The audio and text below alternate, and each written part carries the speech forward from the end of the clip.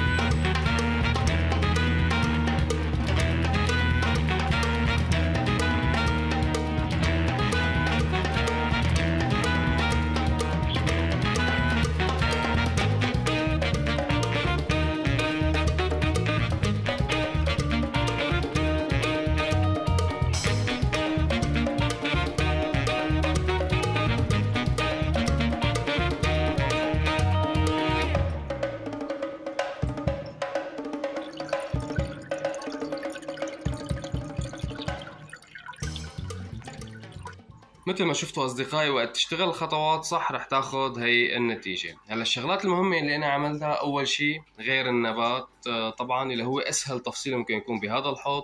عندك موضوع آه، البازلت أو آه، الرمل الأسود اللي بالأرضية.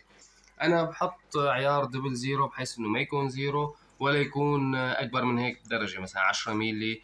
أو 5 ملي أو 3 لا خلينا نحكي double zero يعني تقريبا أنعم نمرة ممكن تحطها أنت بالارضيه لحتى تعطي أريحية لشروش النباتات إنها تمشي وتتكاثر وتتوسع تبحث عن مصادر غذاء. هي الشغلة الأولى اللي كتير مهمة. الشغلة الثانية اللي هي هي الحالة. هي الحالة هي حكاية. أنت ما بصير تعمل حوض نبات ما يكون في آه مثل تيار مي سطحي يكسر لك توتر السطح مثل ما أنت ملاحظ. هي الخضة اللي بتكون على وش المي؟ هي أساس الأحواض النباتية. ليش؟ لأنها بتساعد على تحرر النترات من المي وبتساعد على إنه ما تشكل طبقة من الزيوت. في حال ما كان عندك سكيمر سحب زيوت على زاوية الحوض لحتى تخلص من طبقة الزيوت اللي بتنتج عن عملية التمثيل الغذائي للنباتات. فهي الطبقة هي أساس لوجود الطحالب مثل الحوض اللي رح أعرض لكم إياه هلأ.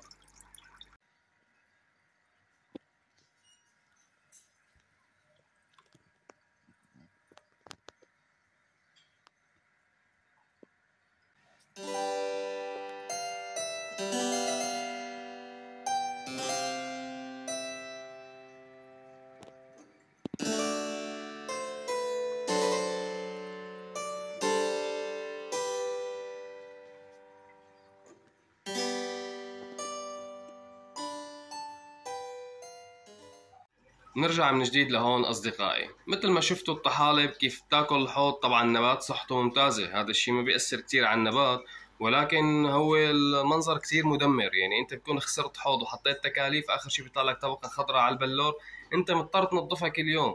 وقد ما كان في منتجات أنا بعتبرها بنسبة 70% جيدة إن هي تقتل الخلايا الخضراء الموجودة بالمي أو تمنع نموها. بس هذا الشيء رح يرجع يتشكل عندك ثاني يوم أو ثالث يوم أو بعد أسبوع. لأنه أنت ما حليت المشكلة الأساسية. فالأفضل إنه مثل ما اتفقنا إنه نعمل توتر سطحي هيك وهذا ما كافي كمان. يعني أنت ما فيك تعتمد عليه بس. لأنه نحن بدنا نحاكي الأنهار. الأنهار مثل بتعرفوا فيها دائما آه تموجات بتكون على جوانبها بتحف بالصخر والرمل الموجود على جوانب الأنهار. فهذا الشيء كلياته بيعمل عملية تحرير مرعبه لأي نواتج بتكون ضمن هالبيئة. طبعا نحن ما عم نحكي عن نبتين أو ثلاثة بالنهر. نحن عم نحكي من أطنان النباتات اللي بتسكن الأنهار. فالمقارنة أكيد رح تكون صحيحة. فانت هاي التفاصيل بس تتلافاها بيكون حوضك النباتي ممتاز. هلأ خلونا نشوف أنواع النباتات الأمازونية أو فصيلة الإكنيدورس اللي أنا زارعها بهذا الحوض. عندك آه، البلافويلوس. هي من الأمازونيات اللي بتكبر لمتر ونص ولا مترين كمان. آه، بتتميز بأوراق قريبة شوي للون الأصفر وبعض البلدان الآسيوية بيسموها السانسيت طبعا هي ما هي أبدا ما هي هي البلافويلوس تمام؟ ال sunset إكنيدورس من نوع تاني تماما. عندك شيء اسمه الشلويتري أو الأشريانوس. الشلويتري هي. الأشريانوس هي. طبعا الفرق هو آه، الإحمرار إذا في CO2 الأشريانوس بتعطي شوي آه، أطراف حمراء على الورقة تمام؟ في حال كان في CO2 بالمي. ولكن هن كأبعاد ورقة أو كتفاصيل هن نفس الشيء تقريبا ما في أي اختلاف. باستثناء اللون. هي خلصنا من الامازونيات طبعا هون عندي فراخ من ال ocelot red وال chocolate marble.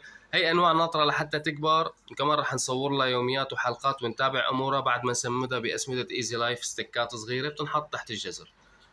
هون في عنا الألترنانتيرا. وعنا هون روتالا. روتوندوفوليا. أنا بحاول اتذكر اسمها نسيتها. روتالا روتوندوفوليا هون عنا الأنوبياس ال broad leaf وعندك البارتري وعندك ال giant بس هي أوراقها الكبيرة راحت ضلت الأوراق الصغيرة عم تعطي نموات جديدة. طبعا الأنوبياس ما بصير تغطسها هيك بالرمل بس أنا تاركها بس لحتى آه تاخذ شوي من ال stick الغذائي اللي حاط له إياه. وعندك الأنوبياس جلابينو اللي هي هي. وعندك النانا هي الجلابينو بتيجي ورقتها ناعمة كتير. وهيدي إذا ما خاب ظني اسمها إكنيدورس red wild grass تمام؟ هي بتطلع ورقتها ناعمة وبتطلع أوراق حمراء وخضراء وصفراء ثلاث ألوان.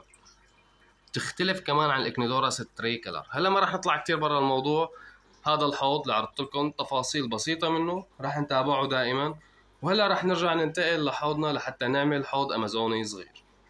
وهلا بنجي لهذا الحوض الصغير اللي هو نفس أبعاد الحوض اللي نزلت فيديو له آه، من كم يوم. كان حوض نانو رمل أبيض. كمان آه، كان كتير حلو بس أنا بدي أحاول أكتر آه، يعني أنا بجمعهم بمكان واحد وأنا بدي أحاول أرجيكم التصاميم كلياتها باحواض نفس الحجم لسهولة التصوير لسهولة الشغل. هلا هذا الحوض رح نستخدم كمان ركيزة البازلتية السوداء بالإضافة؟ رح نستخدم ركيزة طينية تكون بالأرضية بهالمكان مربع لحتى تعطي الجذور غذاء مباشر بأول فترة لحياة الإكنيدوراس رح نستخدم هاي الفلترة مثل اللي استخدمناها بالحوض اللي عملناه. حكينا عنه النانو. آه، بدنا نعمل لها كمان تيار سطحي لحتى نحافظ على مستوى صحة النبات ونحصل على أفضل نتيجة. يلا خلونا نبلش.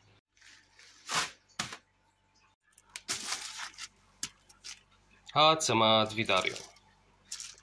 سماد طيني بينحط تحت الأرضيات لحتى يعطي النبات الغذاء المناسب بدونه. بغض النظر سواء آه، فيداريوم ولا بدك تحكي عن أي شركة عالمية أنت بدون هي الاسمده ما راح تقدر تاخذ النتيجة اللي بدك إياها بأحواضك النباتية.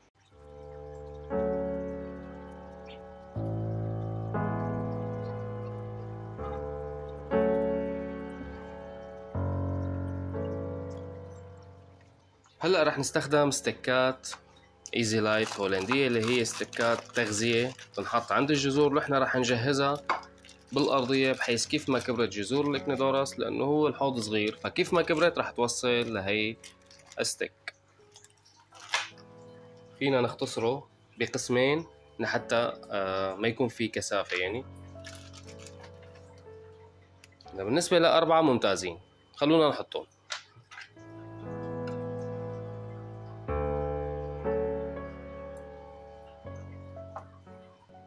حطهم بالأماكن اللي أنت بتعرف إنك رح تزرع فيها.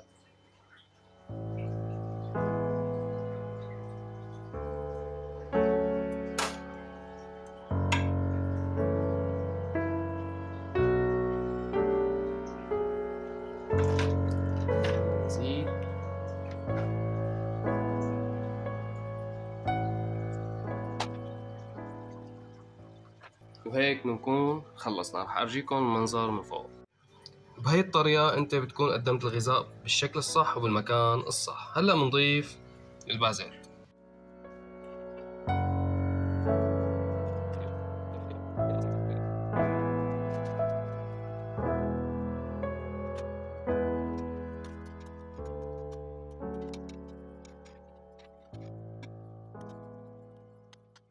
راح نضيف إضافة حلوة اللي هي حجار السيريو. الأحجار المميزة تعتبر مشتقات اللون الأسود وخصوصي بالعروق البيضاء الموجودة فيها. وهلا بنروح لمرحلة ترطيب.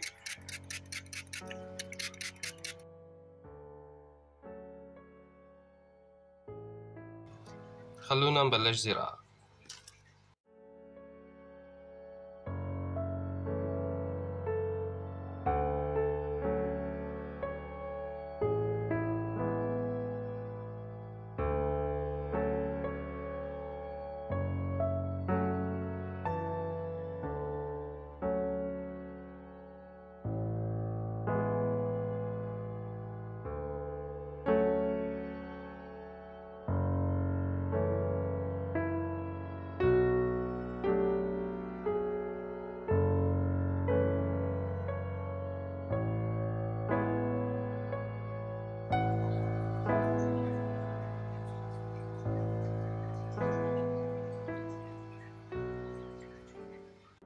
وهي الفلتر صار جاهز ضفنا له مضخة 260 لتر بالساعة بالإضافة لسفنج وميديا جواته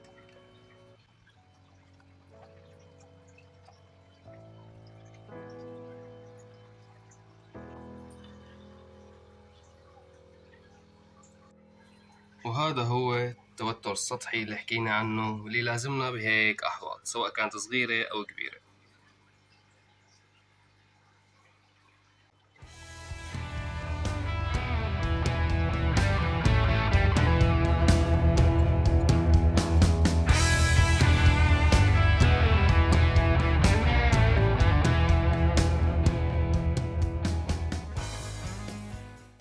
وهلا بنضيف البكتيريا لحتى نشكل الدورة البيولوجية اللي هي أهم شيء ممكن تعمله بالحوض وما تنساه وخصوصا المبتدئين ينتبهوا على هذا الموضوع. نحن 3 ميلي كافية لهذا الحوض.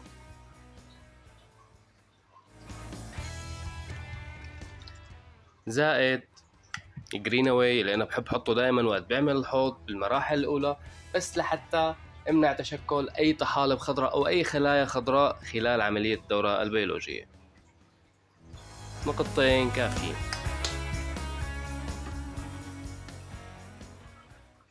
وهيك أصدقائي بنكون خلصنا حوض نانو. مستقبلي أمازوني. ممكن عالم تقول لي إنه منظر ما كتير. لا النانو هذا بيحتاج لشهر لشهر ونص لحتى تاخذ الكثافة النباتية. ويطلع النبات فوق الحوض ويصير تحفة. الحوض هلا تقريبا 30 سم رح يكون إن شاء الله حسب آه، ما أنا آه، حط حسابات. يكون النبات الأمازوني فوق الحوض ب 20 ل 30 سم كمان. نترك الحوض يريح. لبكرة ونعطيكم النتيجة.